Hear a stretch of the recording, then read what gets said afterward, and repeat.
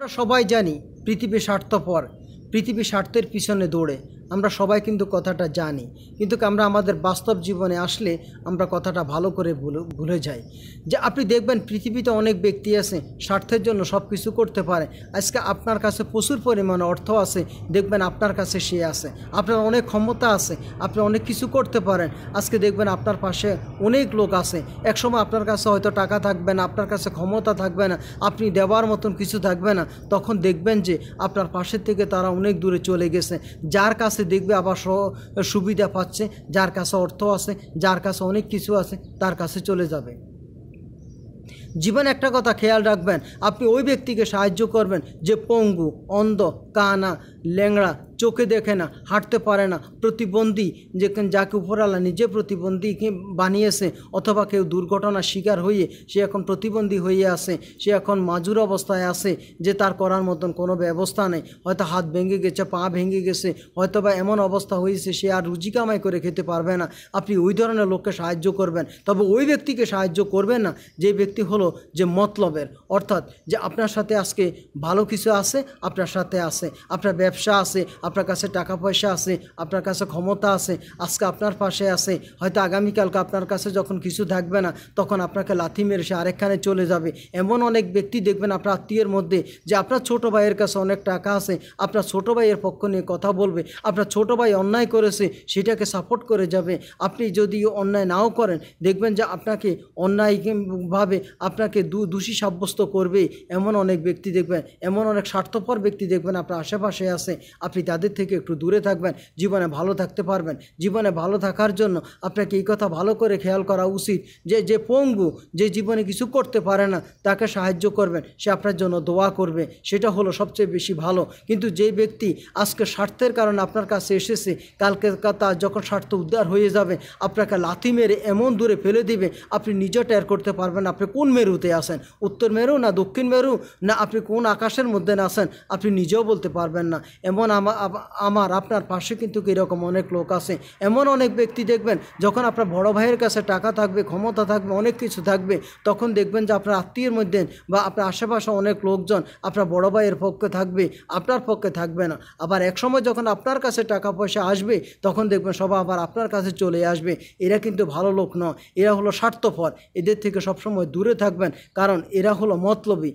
অর্থাৎ তারা যে কোনো জায়গায় কারোর সাথে কথা বলে, কারোর সাথে সম্পর্ক করে, তারা কিন্তু মতলব, তাদের কিন্তু যে কোনো একটা পরিকল্পনা থাকে। এরা স্বার্থপর, এরা স্বার্থের জন্য সব কিছু করতে পারে, এরা স্বার্থের জন্য বাইকে বাবা বলতে পারে, এরা স্বার্থের জন্য কুকুরের পা ধরতে পারে, এরা স্বার্থের জন্য সব কিছু করতে পারে। আপনাকে সবসময় এই কথা খেয়াল রাখতে হবে।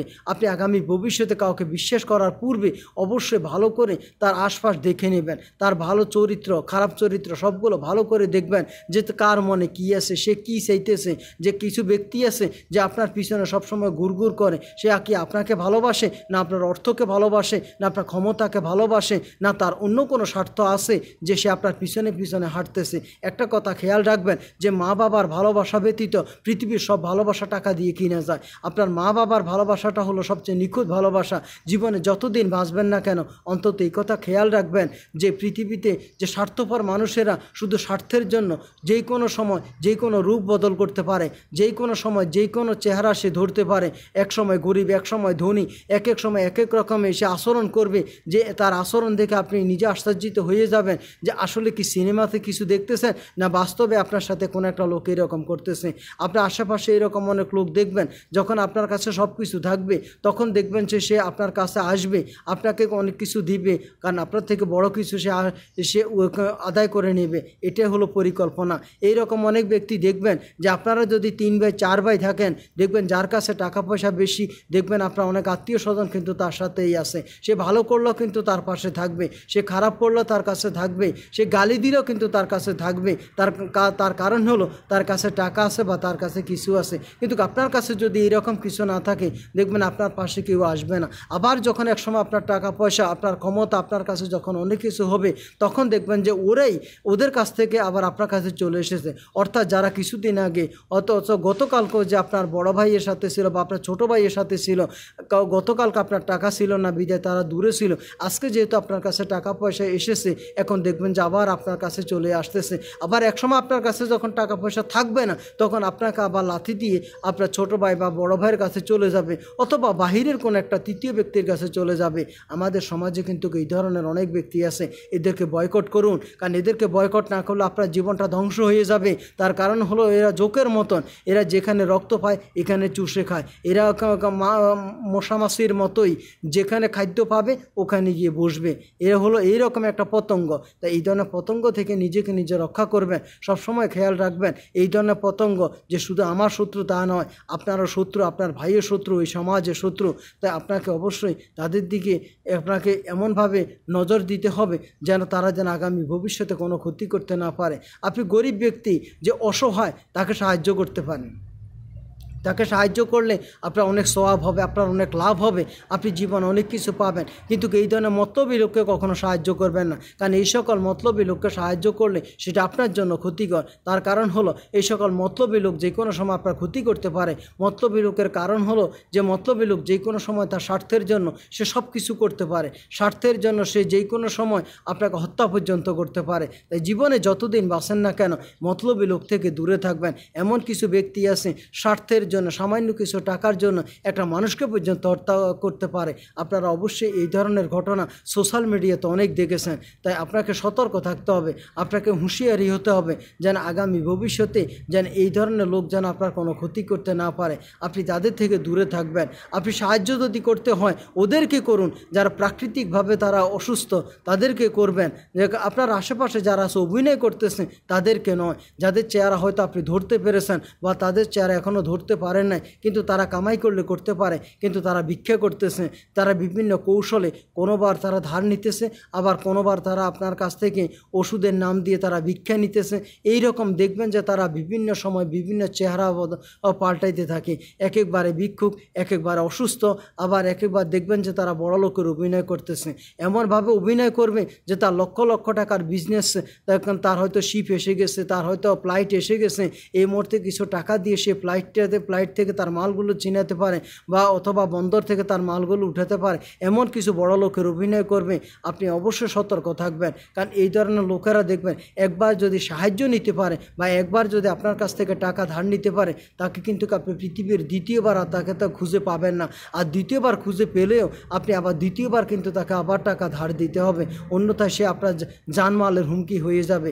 পৃথিবীতে যতদিন বাসুন না কেন, এদের থেকে নিজেকে নিজে রক্ষা করুন। জীবনে ভালো থাকতে পারবেন। জীবনে ভালো থাকার সবচেয়ে বড় সূত্র হলো এটাই যে যতদিন আপনি বাঁচেন না কেন, ততদিন এই ধরনের লোকদের থেকে আপনি নিজেকে নিজে রক্ষা করবেন। জীবনে সবসময় খেয়াল রাখবেন, এমন কিছু ব্যক্তি আমাদের আশেপাশে আছে, তাদেরকে যদি আমরা ভালো করে পর্যবেক্ষণ না করি, তাদেরকে যদি আমরা ভালো করে না দেখি, তাহলে আমরা চিনতেই পারব না আসলে ব্যক্তিটা কীরকম। যে আমাদের আশেপাশে এরকম অনেক ব্যক্তি আছে, স্বার্থের জন্য সব কিছু করতে পারে। এমন কোনো কাজ নাই পৃথিবীতে যে কাজটা স্বার্থপররা করতে না পারে। তারা কিন্তু কর্মিক নয়। তারা হলো মানুষকে কীভাবে চুষে কা সবগুলো জানে। তারা ভাষা দিয়ে পারে, অস্ত্র দিয়ে পারে, তারা অনেক কিছু দিয়ে পারে।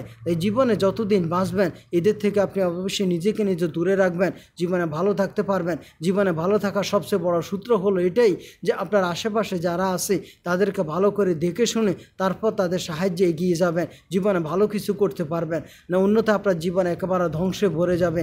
আপনি জীবনে কিছুই করতে পারবেন না। আপনার আশেপাশে যদি এরকম দুই চারজন থাকে তাহলে মনে করলেন আপনার জীবনটাকে নষ্ট করে দিবে। আপনার জীবনে কিছু করতে পারবেন না। আপনি যদি আপনার জীবনে কিছু করতে চান, আপনার জীবনে যদি আপনি ভালো কিছু করতে চান, তাহলে আপনাকে অবশ্যই এই ধরনের লোকদের থেকে নিজেকে নিজে রক্ষা করতে হবে, নিজেকে নিজে ভালো রাখতে হবে। তাহলে জীবন আপনি ভালো থাকতে পারবেন। আমাদের মধ্যে অনেকে আসলে আমরা এটা চেষ্টাও করি না, আর এইখানে আমরা জীবনে কিছু করতে পারি না। আপনি পৃথিবীতে যতদিন বাসুন না কেন, সবাইকে সরল মানে বিশ্বাস করবেন না। হতে পারে সে আপনার রক্ত সম্পর্কিত, হতে পারে বাহিরের কেউ। তার কারণ হলো মানুষ যে কোনো সময় স্বার্থের জন্য তার চেহারা পাল্টাতে পারে। গিরগিটিকে বিশ্বাস করবেন, কারণ গিরগিটি যে কোনো সময় রং পাল্টাতে পারে। কিন্তু মানুষ এমন একটা জাত যে স্বার্থের জন্য যে কোনো সময় সে তার চেহারা পাল্টাতে পারে। যে কোনো সময় স্বার্থের জন্য মানুষকে খুন করতে পারে। খেয়াল রাখবেন, এই ধরনের ব্যক্তি কিন্তু আমার, আপনার আশেপাশে কিন্তু অনেকেই আছে, কিন্তু আমরা চিনতে পারি না অনেক ব্যক্তি অপেক্ষা করে আছে, কবে সে তার স্বার্থ উদ্ধার করে নিবে? সে হয়তো আপনার সাথে বন্ধু হিসাবে আছে। যখন তার স্বার্থ উদ্ধার হয়ে যাবে, তখন আপনার তার আসল চেহারাটা ধরতে পারবেন যে আমাদের আশেপাশে এইরকম আছে। যখন আপনার কাছে সব কিছু আছে, তখন আপনার আশেপাশে বন্ধু বান্ধব আত্মীয় স্বজন সব কিছু আছে। কিন্তু যখন আপনার কাছে কিছুই থাকবে না, দেখবেন আপনার আশেপাশে আর কেউ থাকবে না। এটাই হলো পৃথিবীর আওয়াজ তাই যতদিন বাঁচুন না কেন, অন্তত এই কথাটা খেয়াল রাখুন, জীবনে ভালো কিছু করতে পারবেন। সবাই ভালো থাকুন, সুস্থ থাকুন, জীবনে ভালো কিছু করুন। সবার কাছে এই আশা কামনা করে আজকের এপিসোড এখানে বিদায় নিলাম। আসসালামু আলাইকুম রহমতুল্লাহি ওবরাকাতহ